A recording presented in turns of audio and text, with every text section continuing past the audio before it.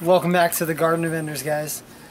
Wanted to share with you a little bit today of uh, what we're going to do to kind of get this season going. Um, there's a lot of work that needs to be done, and it's just everyday work around the garden that uh, a lot of people put off and, uh, and then gets overwhelmed. Well, guess what? We're at the point where it's overwhelming. So, show you guys, we're going to clean up, get things going, pull some weeds, and uh, get things hardwood mulched. And uh, let's check it out.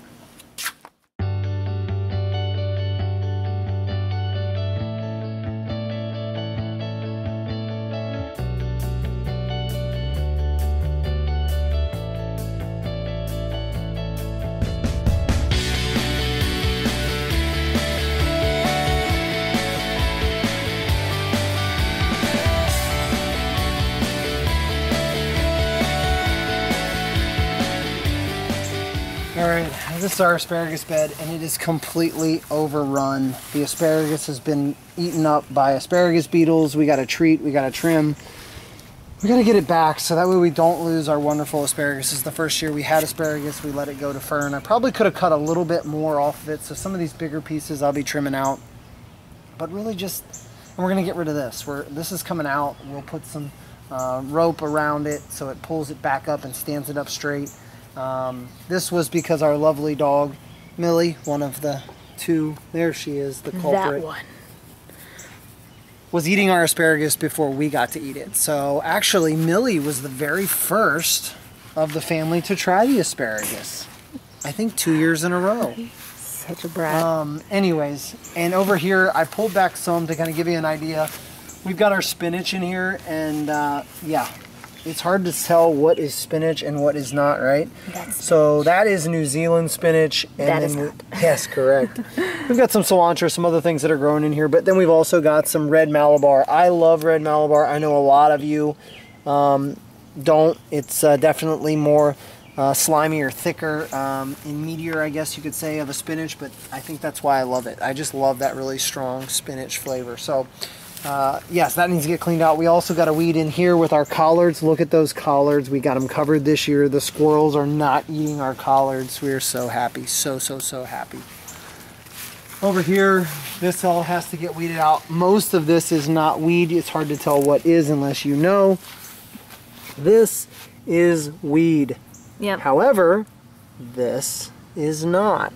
This is chamomile. So eventually it will sprout. All the stuff that looks almost furnish, um, if you will, is um, is chamomile, and everything else is weed. So it will get fixed. The lemon balm, oh my gosh, don't even get me started. That thing is a tree. My wife swears she cut it back. I have. I'm gonna show her. I have I, twice. I'm gonna show her how I cut it back though, and we're gonna see the difference. no, well, okay. But Challenge accepted. sir. Right.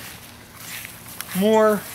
Uh, this is just spinach, and then we had some volunteer chamomile, of which is sprouting over That here. We have, made its way over. um, yeah, so we have some lettuce. This is more of a volunteer bed. Um, we do have some sorrel that's come in. It absolutely looks gorgeous. It is starting to get big. We've got it in quite a, pretty. quite a few spots. This is so good for you.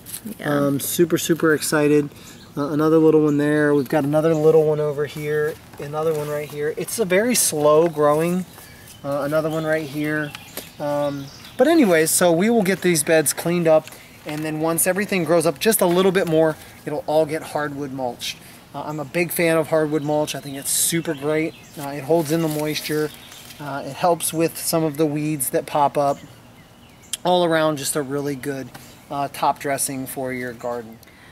So while Matt is picking sticks up out of the yard, we had a really bad storm last night that threw all kinds of debris in the yard. I'm going to talk to you about our peach trees because we have not seen you since we covered our peach trees with some bird netting to keep the birds away from our gorgeous peaches here. We do have some sort of creepy crawly um, is getting into some of our peaches, so we are going to treat our peaches, but this netting um, has already, I know it's Safe peaches. I've seen so many like little finches and stuff sitting here trying to trying to get to my peaches, and I just sit there and watch them, and I'm, I'm just like, nope, not today. Fly on, little birdie. Oh, a quick little snack. Yes. Hey, What? why are you so stinking cute?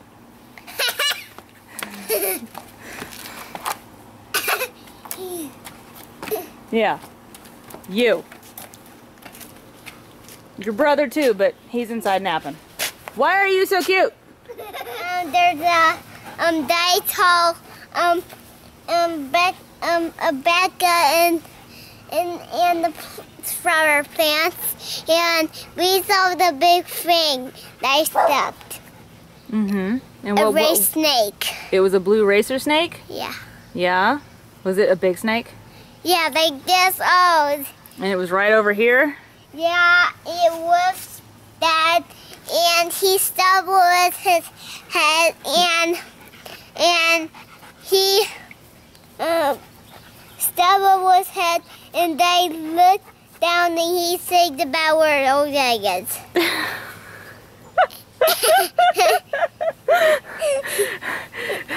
Daddy said a bad word. yeah, dang it. But yeah, he said, "Dang it." Yeah. Yeah, one day. Bad dad.